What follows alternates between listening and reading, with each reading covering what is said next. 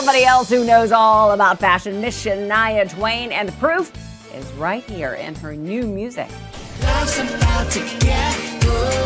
That's Shania's new music video, Life's About to Get Good. But recognize that little number? Yep, she wore it 18 years ago in this iconic music video. Man, I feel like a woman. Was that the actual original outfit? It is. It's it's the exact original clothes. So you still fit in it beautifully. How you do this, Shania? Oh, I, yeah. Uh, no, not exactly the way I used to fit into it, but I still did fit into it. I was so like, whoa, I can't believe this. It was just fun.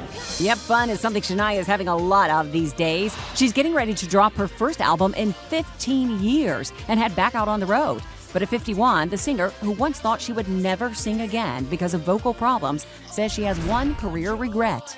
Prince actually contacted you and wanted to be your producer. Yeah, he was the first producer to call me and uh, talk to me about getting started with a new album. But at that time, I was, I just didn't have the confidence. I, I, I didn't do it. Imagine. From this moment. Shania is also set to make her big screen debut with close friend John Travolta in his new car racing movie Trading Paint, which is due out next year. It's a drama, and I'm the girlfriend, and it, there, it, it, there's some quite intense things, and there's. Do you have love scenes with John? Do you get a kiss, John? Yes. You do? Yes. well, at least he can coach you on that Oh, part no, too. yes.